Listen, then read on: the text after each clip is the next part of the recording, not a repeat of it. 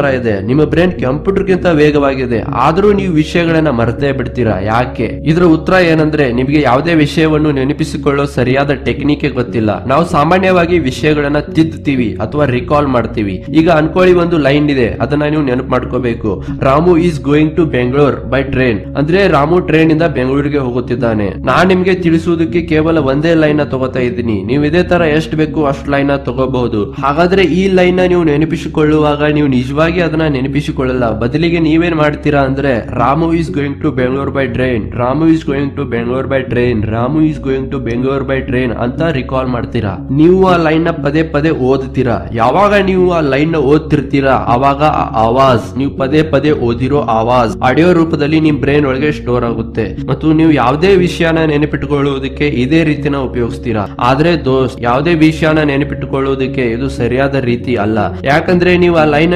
ನೆನಪಿಸಿಕೊಳ್ಳುವುದಕ್ಕೆ ನಿಮ್ಮ ಐದು ಜ್ಞಾನೇಂದ್ರಿಯಗಳ ಬದಲು ಕೇವಲ ಒಂದೇ ಜ್ಞಾನೇಂದ್ರಿಯನ್ನ ಉಪಯೋಗಿಸ್ತಿದ್ದೀರಾ? ಮತ್ತೆ ಅದಿದೆ ಓದಿ ಓದಿ ಆವಾಜ್ನ ಆಡಿಯೋ ರೂಪದಲ್ಲಿ ಬ್ರೈನ್ ಒಳಗೆ ಸ್ಟೋರ್ ಮಾಡೋದು. ಬ್ರದರ್ ನಿಮ್ಗೆ ಐದು ಜ್ಞಾನೇಂದ್ರಿಯಗಳು ಸಿಕ್ಕಿರುವಾಗ ನೀವು ಕೇವಲ ಒಂದನ್ನೇ ಯಾಕೆ ಉಪಯೋಗಿಸಬೇಕು? ಹಾಗಾದ್ರೆ ಇಲ್ಲಿ ಟೆಕ್ನಿಕ್ ಏನಂದ್ರೆ ಯಾವುದೇ ವಿಷಯನ ನೆನಪಿಟ್ಟುಕೊಳ್ಳುವುದಕ್ಕೆ ನೀವು ನಿಮ್ಮ ಐದು ಸೆನ್ಸ್ ಗಳನ್ನ ಯೂಸ್ ಮಾಡಿ. ಅಂದ್ರೆ ಯಾವುದೇ ಲೈನ್ನ ನೀವು ಓದ್ತಿದ್ರೆ ಆ ಲೈನ್ ಯಾವ ಪೇಜ್ ಮೇಲೆ ಬರ್ದಿದೆ, ಯಾವ ಕಲರ್ನಲ್ಲಿ ಬರ್ದಿದೆ, ಅದನ್ನ ನೀವು ನಿಮ್ಮ ಬ್ರೈನ್ನಲ್ಲಿ ಒಂದು ಪಿಕ್ಚರಿನ ರೂಪದಲ್ಲಿ ನೆನಪಿಸಿಕೊಳ್ಳೋ ಪ್ರಯತ್ನ ಮಾಡಿ. ಮತ್ತು ಜೊತೆ ಜೊತೆಗೆ ಓದಿ ಓದಿ ಆವಾಜಿನ ರೂಪದಲ್ಲಿ ಕೂಡ ನೆನಪಿಸಿಕೊಳ್ಳಿ ಮತ್ತು ಯಾವ ಲೈನ್ ಓದ್ತಿದ್ದೀರಾ ಅದನ್ನ ಅನುಭವಿಸಿ. ಅಂದ್ರೆ ಫಾರ್ ಎಕ್ಸಾಂಪಲ್ ಇದೇ ಲೈನ್ ತಗೊಳ್ಳಿ. ಇಲ್ಲಿ ನಿಜವಾಗಿಯೂ ರಾಮು ಬೆಂಗಳೂರಿಗೆ ಹೋಗುತ್ತಿದ್ದಾನೆ. ಅವನು ತುಂಬಾ ಸಂತೋಷವಾಗಿದ್ದಾನೆ. ಅವೆಲ್ಲರಿಗೂ ಬಾಯ್ ಹೇಳ್ತಿದ್ದಾನೆ. ಈ ತರ ನೀವು ಒಂದು ಸೀನ್ ಕ್ರಿಯೇಟ್ ಮಾಡಬೇಕು. ಸೇಮ್ ಒಂದು ಮೂವಿ ತರ ಇಮೇಜಿನೇಷನ್ ಮಾಡಬೇಕು. ಇದೇ ತರ ಯಾವುದೇ ವಿಷಯನ ನೆನಪಿಟ್ಕೊಳ್ಳೋದಕ್ಕೆ ನೀವು ಒಂದಕ್ಕಿಂತ ಹೆಚ್ಚು ಸೆನ್ಸ್ ಗಳನ್ನ ಯೂಸ್ ಮಾಡಿ. ಮತ್ತೆ ಇದರಿಂದ ಅದು ನಿಮ್ಗೆ ತುಂಬಾ ವರ್ಷದವರೆಗೂ ನೆನಪಿರುತ್ತೆ. ಹಾಗಾದ್ರೆ ಈ ವಿಡಿಯೋ ನಿಮ್ಗೆ ಹೆಲ್ಪ್ಫುಲ್ ಆಗಿದೆ ಅನ್ಕೋತೀನಿ. ಇದೇ ತರ ಇನ್ನು ತುಂಬಾನೇ ಮೆಮರಿ ಟೆಕ್ನಿಕ್ಸ್ ಗಳಿವೆ. ಮತ್ತು ನಾನು ನಿಮ್ಗೆ ಎಲ್ಲ ಟೆಕ್ನಿಕ್ಸ್ನ ಖಂಡಿತ ಹೇಳ್ತೀನಿ. ಹಾಗಾದ್ರೆ ಈ ವಿಡಿಯೋ ನಿಮ್ಗೆ ಹೇಗೆ ಅನಿಸ್ತು ಅಂತ ಕೆಳಗಡೆ ಕಮೆಂಟ್ ಬಾಕ್ಸ್ ಅಲ್ಲಿ ಕಮೆಂಟ್ ಮಾಡಿ ಹೇಳಿ.